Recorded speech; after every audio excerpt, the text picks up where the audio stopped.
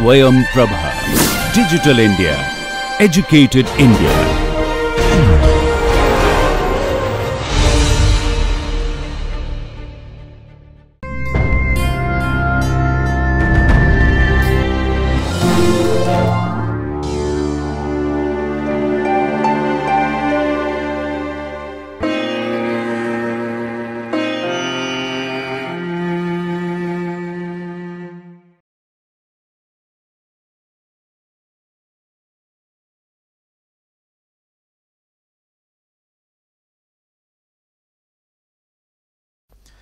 Hello one and all, welcome back again. Now we'll take forward another step to understanding more relevant aspects about diabetes mellitus. So far, if you recollect, we talked about diagnostic criteria, the glucose homeostasis, we talked about differences between type 1 and type 2 and the underlying pathogenesis. Now having known those facets, it is very important to understand what are the next problems in diabetes. We know how to diagnose it now, but how do you diagnose it? In the sense, how do you have an index of suspicion that the patient may be diabetic?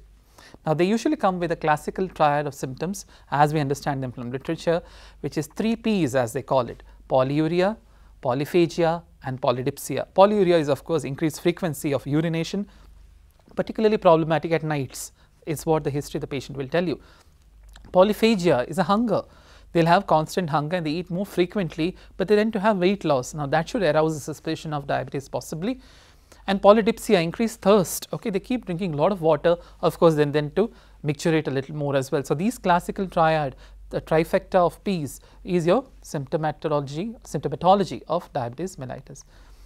Now, that is more complex in the sense that when you have insulin deficiency, as you see a schematic representation on your screen say, there will be insulin deficiency and or insulin resistance. Of course, we may be talking about type 1 and type 2 respectively there. Now, there will be leading, it leads to a decreased tissue glucose utilization that we have understood so far and the glucose tend to accumulate over in the over a period of time in your plasma which is called as hyperglycemia. Now, of course, they will not be utilized by the fat neither muscle nor in the liver. So, what will happen as a downstream effect of that? You tend to get polyphagia mainly because the glucose levels are very high and may not be utilized over a period of time. So, you will have uh, increased lipolysis in the free fatty acids will be released in lipolysis can lead to polyphagia. In the muscle there will be increased protein catabolism that means it is broken down in the amino acids. So, protein is broken down in the place of glucose. Now, that catabolism can result to some amount of polyphagia, the patient has more hunger. in the liver, your glucagon is building up in excess. That is a counter regulatory hormone to insulin and increase in the level of glucagon has an opposite action over your glucose level where it tends to increase gluconeogenesis, more and more glucose will be produced. Now, but that not be utilized there. You will have your ketone bodies being utilized. So, ketogenesis comes to play resulting in metabolic acidosis of ketone nature what is called as ketoacidosis as well. Now, once that starts it can result in a more acute metabolic complications like let us say diabetic ketoacidosis or it may lead to a chronic hyperglycemic state and this hyperglycemic state as we know as the glucose filters through your glomerulus into your tubules it is very osmotically active. So, it will drag in water with them and the water will be excreted out in the urine resulting in what is called as polyuria. At the same time because of so much water is being depleted and lost in urination you starve yourself of water resulting in a dehydration like state if you will resulting in what is called as increased thirst. So, all the receptors osmoreceptors in your brain will tell you to quench your thirst by drinking more water. So, they will have polydipsia so they consume more water. So, this cycle keeps on continuing that is how your 3 P's manifest and the patient comes to you as presentation. Now, what are some of the complications of diabetes mellitus? What can it lead to? Why is it such a big burden of disease in our community? Those are what is called as acute and chronic complications. Their behavioral patterns are slightly different that is why we need to address them as these strict categories. Now looking at acute complications they tend to be more metabolic than other ways. For example, the poster child of acute complication of diabetes is what is called as DKA diabetic ketoacidosis certainly seen more in type 1 than type 2 unheard of in type 2, but certainly reported in literature. Usually the trigger for this Apart from an absolute lack of insulin, maybe some other adjoining factors such as infections, okay, viral infections, sepsis can augur in such a reaction. Prolonged illnesses, exacerbation of illnesses can also do that. Trauma, an acute antecedent trauma can also trigger a DKA like situation. So, it also has to do with a, almost like a flight or a fright response where increase in amount of catecholamines like epinephrine will do the job of spiking the glucose levels. The patient usually comes with you with a severe sense of almost an uneasiness with anorexia, they will have vomiting tendencies and also a very nauseous feeling about it. And if you look at the respiratory rate that is very high, your respiratory rate increases a very deep respiration and a fast breathing pattern, what is called as Kussmaul's breathing and they will have a very fruity odor because of the ketone bodies, a very fruity odor in their breath. Of course, it gradually goes towards more mental, mental confabulations. They'll have confusion, almost delirious and end up in a comatose situation. So, they'll end up in a ICU generally because of these complications. Also, if you look at it, underlying them is an absolute lack of insulin. So, deficiency causes a spike in the counter regulatory hormones such as glucagon. Both of these an excess glucagon and a lack of insulin. This complete discrepancy results in what is called as severe hyperglycemia. And severe hyperglycemia renders as we have understood in the chart earlier causes osmotic diuresis, a lot of water will be excreted out in the kidney resulting in a relative dehydration like state. And we know that that is problematic because then a lot of these ketone bodies will be used up as metabolism for generating ATP or energy instead of glucose. And this ketoacidotic stage your pH starts to drop further resulting in metabolic acidosis and then ketone bodies also will be excreted out in the urine. Also if you look at it at the insulin deficiency itself, it also causes other stream effects such as an increase in the level of lipoprotein lipases because of deficiency of insulin. There is no checkpoint on that enzyme that of course causes esterification of free fatty acids in the liver resulting in a moiety called as fatty acyl coenzyme A which has been synthesized in excess. Now this is problematic because this gets oxidized within the mitochondria of your hepatocytes and the end product of that results in ketone bodies such as acetone acetoacetic acid and beta hydroxybutyric acid. All these three will increase in your plasma resulting in ketonemia and of course, they will be filtered by your kidney and land up in the urine resulting in ketonuria. Of course, you pick up them using specific tests in the urine such as Rothera's test. Another aspect of an acute metabolic complication is HHS. Remember we spoke about that in the context of type 2 diabetes mellitus called as hyperosmolar hyperosmotic syndrome. It was called as HONK earlier and this is a new terminology given to it. Again in the parlance of type 2 unheard of in type 1 so that is the distinction you need to draw there. The triggers for this is on similar lines as type 1 but here generally due to lack of water intake what is called as osmotic diuresis okay that underlines the pathology. The patients are usually of older age group 40 or above and usually they will give you a history of stroke, pneumonia, infection, so on and so forth. So, they have already been compromised the health in the context of the health, they have been jeopardized already and that is a past history that the patient will tell you. No ketonic symptoms, no Kussmaul's breathing, no fast shallow respiration. So, that is why the patient goes under the radar. They do not present generally to your hospital well because those acute symptoms which force them to come to the hospital may not be present in HHS. But underlying factor still remains the same they have chronic persistent hyperglycemia very severe much more so than your DKA. Here the levels of glucose may reach in the order somewhere around 800 to 1200 milligram per deciliter whereas in diabetic ketoacidosis you generally do not see them more than 600 milligram per deciliter but then again those are relatively speaking. Paradoxically though, another met acute metabolic complication can be hypoglycemia. You may ask, how hypoglycemia? How does it come about in a situation where it should be hyper? That is a delicious irony of complications in diabetes of course, because usually this will be following person missing their meals. Okay, they will have missing meals or excess insulin administration, they will take more dosages of subcutaneous insulin than normal, sugar levels will fall down very rapidly or a lot of physical exertion or exercise will drop down their um, blood sugar levels or glucose levels very specifically to a very low point, so resulting in hypoglycemia. So, they will come of course with a lot of the sympathetic uh, symptoms like dizziness, um, sweating, confabulations, confusions, uh, heart rate will be very high resulting in tachycardia. The patient can feel their heart rate is called as palpitation and that is how the patient is present. So, your acute complication can be summarized as diabetic ketoacidosis, HHS and hypoglycemia. This is schematic representation of an algorithm where you tend to see as a downstream effect of hyperglycemia as you can see it results in glycosuria. Glycosuria is osmotically active as we discussed earlier. So, drags in water resulting in polyuria. So, urine output will increase more frequently more than 2 liters per day. Polyuria has other problems such as it loses a lot of electrolytes. You lose a lot of sodium and potassium resulting in dehydration and also dehydration causes your osmoreceptors like I was talking about earlier to take more water to quench your thirst. So, they will have polydipsia. Now, of course, glycosuria means that your glucose is not being utilized for burning calories, right. So, they are using some other metabolism, maybe it is using ketones. One thing that happens there is you tend to have hunger. So, despite having frequent meals, the hunger persists and you have weight loss, resulting polyphagia, weight loss.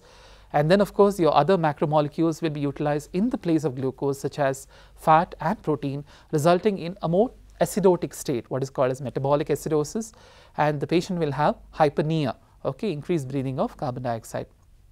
They also tend to have because of breakdown products of amino acids and protein a negative nitrogen balance and then eventually all this coalesce resulting in cumulative damage to the patient.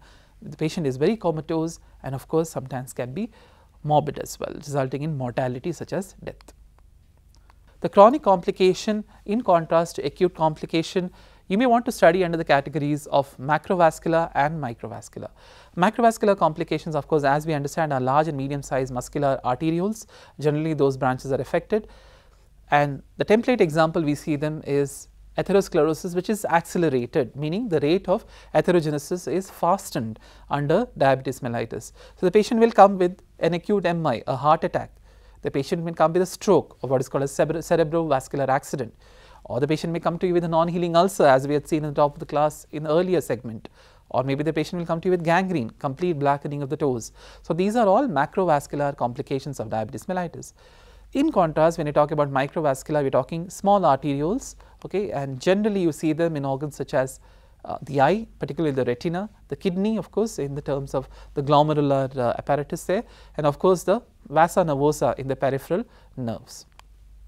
This is schematic representation where you can see there is changes from head to toe everywhere is affected. You can see at the top of the screen of the head you can result in what is called as microangiopathy, small vessels which are very leaky and more vulnerable to get damaged in case of diabetes mellitus resulting in hemorrhages or what is called as stroke there. In the eye it can result in retinopathy, we will come to all these details in a bit, it is just a representation of the same. It can affect the heart, it can affect let us say amyloid deposition in the pancreas.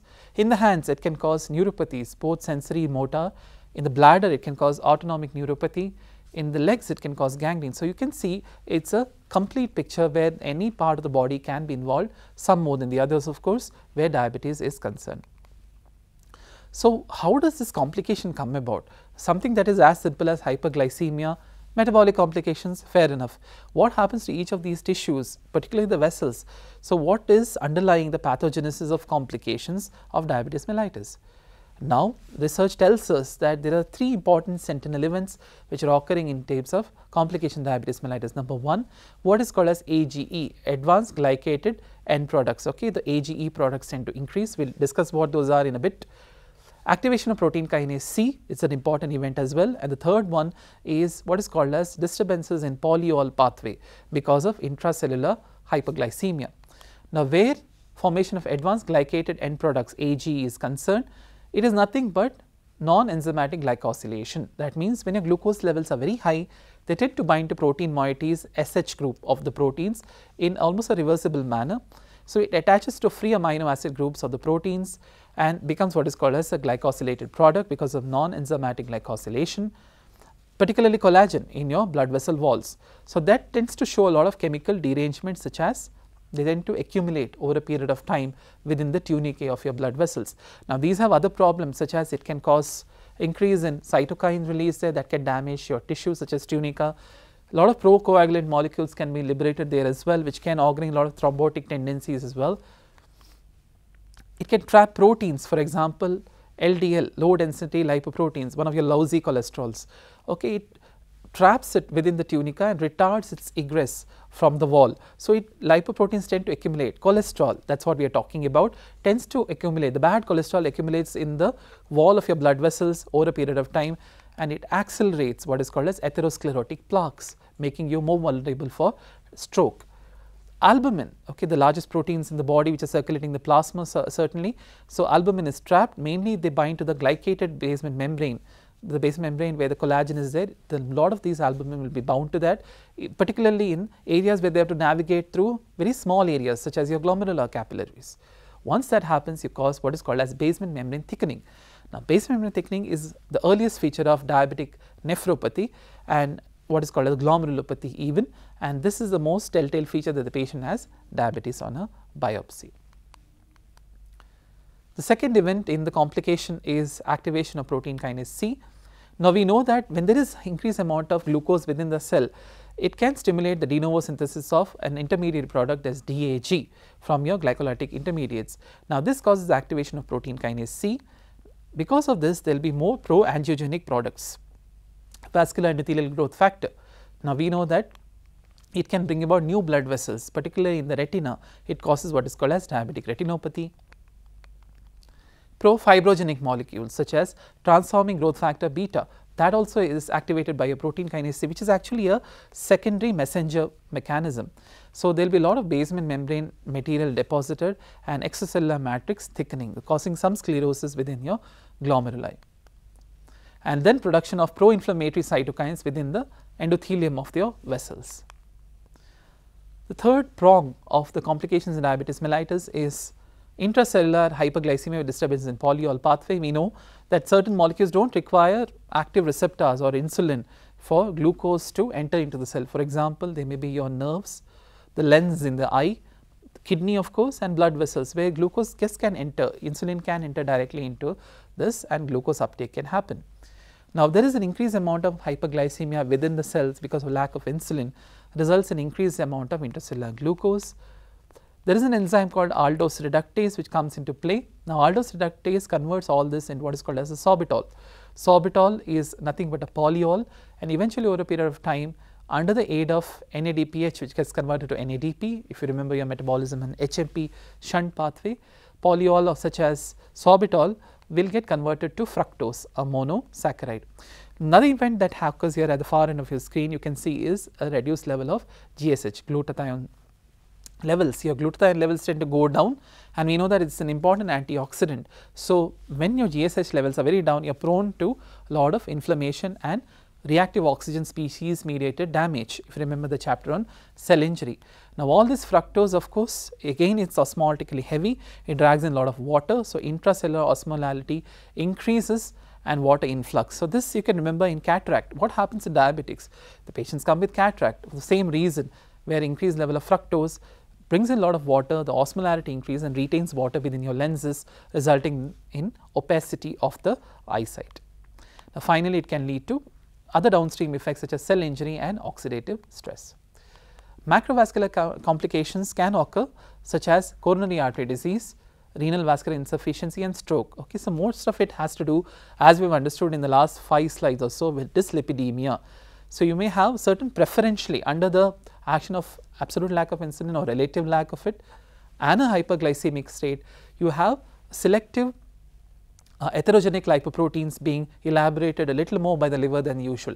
So, this such a preferential treatment results in lousy cholesterol building up resulting in more chance for them like I said to deposit within the vessel walls and result in stroke.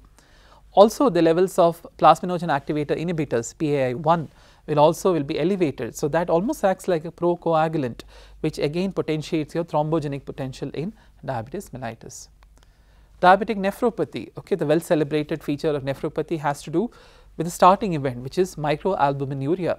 Now, this is quantitated as more than 30 milligrams of albumin, but less than 300 milligrams per day. Somewhere in the range of that you call it microalbuminuria. Now, this has a direct effect because it is an independent risk factor for further complications such as stroke.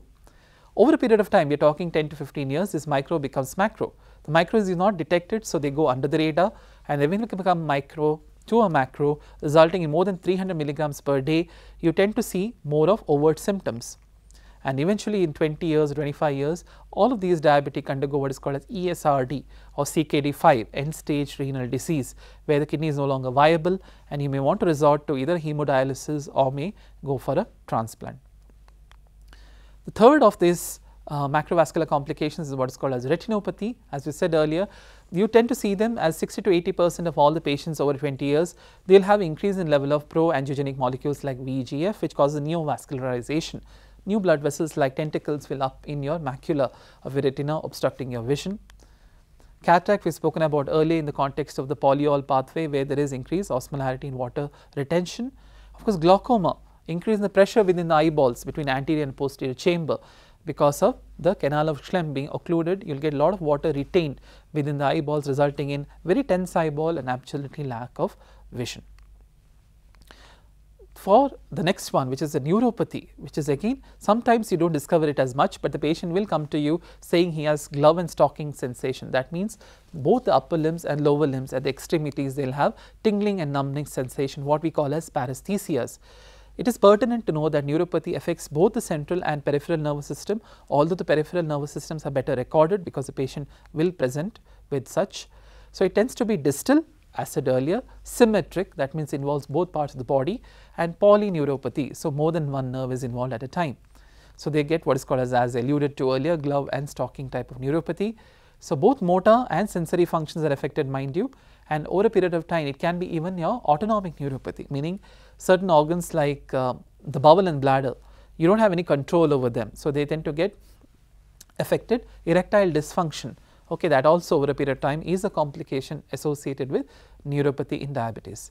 Sometimes they come with only one feature such as a mononeuropathy, they will have what is called as a wrist drop because of lack of uh, tone within the muscles there or a foot drop okay while walking the feet buckles okay that is the history the patient tells you these are features of mononeuropathy again coming under the umbrella of neuropathy of diabetes apart from this the trifecta such as retinopathy, nephropathy and neuropathy as discussed earlier, they may have very trivial problems such as skin infections, very common diabetes. They say the wound does not heal in diabetics. Okay, that's got to do a lot of with this situations where your bacterial infections take over. They can present with granuloma annulare, they can present with lipoidica bacteria so, they can come with tuberculosis. Okay. When we are talking about reduced immunity, it does, does not mean HIV or AIDS, it means that diabetes has lowered your immunity as well. So, the patient is vulnerable to pick up opportunistic infections. In India, certainly tuberculosis comes there. Infection of the ascending tract of your urinary tract uh, resulting in what is called as pyelonephritis, acute inflammation of the renal pelvicalyceal system that also is possible. So, this has to mainly do with um, dysfunction of the neutrophil. So, you can't drain in the infectious agents. You have increased vascular endothelial uh, vascularity being increased. So, they adhere more there and certainly the impaired cytokine release by the macrophages these underlie the mechanism for infections. In pregnancy we spoke about a bit about gestational diabetes mellitus. In pregnancy you have what is called as pre-eclamptic toxemia. Now, that is for a longer discussion that where the patient presents with hypertension they tend to have a lot of sugar in the urine Okay, so they are diagnosed as such. When they deliver babies, tend to be what is called as macrosomic or large for date babies. That's a complication. Of course, child inherits the additional problem of neonatal hypoglycemia because the child's islet cells were doing the job for responding to the mother's hyperglycemia. So, they are burnt out completely by the time the child is born. So, the child also will be lacking insulin. So, this is the repetition what we have seen earlier just for completion you also have problems such as pyelonephritis, you will also have problems such as glomerulosclerosis which we will address in few slides. Apart from this what we have not discussed is peripheral vascular complications, glove and stingling of course sensation and autonomic dysfunction as shown there the bladder is affected. Now, the last part of this is how are the organs involved, how do the organs look like when you are talking about diabetes. Is a biopsy indicated possibly in the context of kidney disease because you want to stage it so, in the kidney you will see the initial ones you can see is what is called as a diffuse thickening of the glomerular capillary base membrane. This is an image where PAS stain is used. You can see are shadows of pink there. So, your base membrane thickening is the first highlighted feature best demonstrated on electron microscopy, but under light microscopy you can use cytochemical stains to accentuate the same. As it progresses over a period of time, you will see a more nodular that means small nodules tend to deposit in and around the periphery of the glomerulus what are called as Kimmelstiel-Wilson lesions, KW lesions what are called nodular glomerular sclerosis. These are PAS positive lesions which look very similar to amyloid, it is a differential diagnosis there. But over a period of time this nodular one will coalesce and become more diffuse. Generally seen best demonstrated at the periphery of the glomeruli with a PAS stain and sometimes will increase over the loops of the capillary resulting in what is called as fibrin caps sometimes adherent to the Bowman's membrane resulting in what is called as capsular drops. And if you see the vessels in the interstitium, you will see myointimal hyperplasia and hyaline arteriolosclerosis. So, a hypertension like state may also coexist or maybe the age products have trapped all these proteins within the vessels resulting in hyalinosis of the uh, lining tunicae. Of course, in kidney you can pick up pyelonephritis where you will see a lot of neutrophils forming microabscesses with the cortical scarring and tubular atrophy. What about pancreas? Okay, the lesser of this pancreatic biopsy is not indicated generally, but when you do, you will see a reduction in number of islets of pancreas with a lot of leukocytic infiltrates, particularly lymphocytes forming aggregates and plasma cells because we know there is an autoimmune component to the same. The amount of islet cell mass reduces, so the amount which is available for generating insulin is brought down and over a period of time you will see this extracellular proteinaceous very hyalinized uh, substance get deposited there as you can see on the image H&E image there the pink amorphous structure is called amyloid they tend to deposit over the pancreas. So, that brings us to the end of diabetes. So, we discussed at length all the facets of this and this last segment we talked about the complications, we discussed the pathogenesis of the complications, we discussed acute and chronic metabolic complications and we delved into each one of those macrovascular components trying to understand how they are brought about, how does the organ look like and eventually what is the end result. So, I hope you had a good time understanding about diabetes in detail. Okay, have a good day and thank you very much for your time.